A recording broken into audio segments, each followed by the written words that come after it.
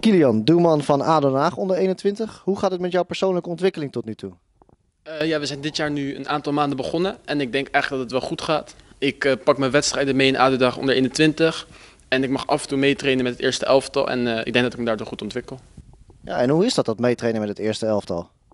ja, is heel leuk natuurlijk. Het niveau is een stukje hoger dan hier zo bij de aftrap, dus daar leer je alleen maar meer van. Ja, en als we het dan over jouw eigen ontwikkeling hebben. je hebt twee weken geleden een uitnodiging gehad voor het Nederlands elftal onder 19. Daar ben je ook geweest. Hoe was dat? Ja, ik ben dit jaar nu twee keer mee geweest met Nederlands elftal onder 19. En uh, ja, dat is een hele mooie ervaring. Uh, je traint met de beste jongens van je leeftijdscategorie. Dus uh, ja, dat is heel leuk en daar word je ook echt beter van, merk je. Ja, en wat leer je dan? Want ik zie inderdaad op dat lijstje staan een aantal spelers, bijvoorbeeld uit Jong Ajax. Hè. Ik noem Juri Regeer en Nachi Univar. ja, hoe kijk je naar die gasten? nou, wat het eigenlijk is met die jongens, is dat ze de basisdingen zijn eigenlijk wel vergelijkbaar met hier bij ADO. Alleen zij doen alles eigenlijk. Uh, ze maken veel minder fouten en ze doen alles op een heel hoog niveau. En daardoor moet je eigenlijk, eigenlijk ook altijd scherp zijn. Dus je kan niet eventjes verzwakken en uh, ja, dat merk je wel erg. Ja, en dan uh, je eigen team hier bij ADO onder 21. Ehm, aanstaande zaterdag spelen jullie tegen FC Twente. De uitwedstrijd heb je al gehad, 0-0. Wat kan je daar nog van herinneren?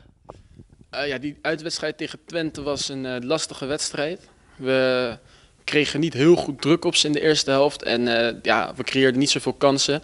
Maar we gaven zelf ook eigenlijk weinig weg. De tweede helft ging het wel beter en toen konden we nog wel wat kansen krijgen. Maar helaas uh, konden we niet over de streep trekken en werd het 0-0. Ja, en is het dan makkelijker de komende wedstrijd omdat je dan al ongeveer weet hoe de tegenstander speelt? Of ja, wordt het juist misschien juist wel moeilijker? Ja, dat heeft sowieso wel een voordeel. We hebben ze nu goed kunnen analyseren. En we weten nog van vorige uh, wedstrijd tegen hun uh, wat goed werkt en wat niet goed werkt. Alleen voor hun geldt natuurlijk hetzelfde. Zij hebben ons ook geanalyseerd. Dus daar moeten we wel rekening mee houden. Ja, en dan de laatste twee wedstrijden met het team uh, helaas verloren. Hoe gaan jullie nu proberen die ja, negatieve spiraal, noem ik maar eventjes, te doorbreken? Ja, we hebben de laatste twee wedstrijden inderdaad verloren. Allebei aan het einde van de wedstrijd hebben we het nog weggegeven.